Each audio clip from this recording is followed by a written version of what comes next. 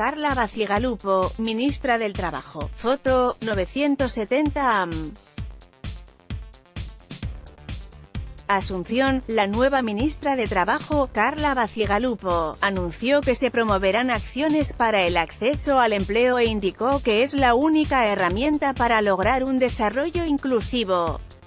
En la ocasión, la secretaria de Estado, expresó que estar al frente del Ministerio de Trabajo es un desafío muy importante y destacó que en su discurso inaugural, el presidente de la República se refirió a las acciones a encarar para que la ciudadanía pueda acceder a un trabajo digno y mejorar su calidad de vida.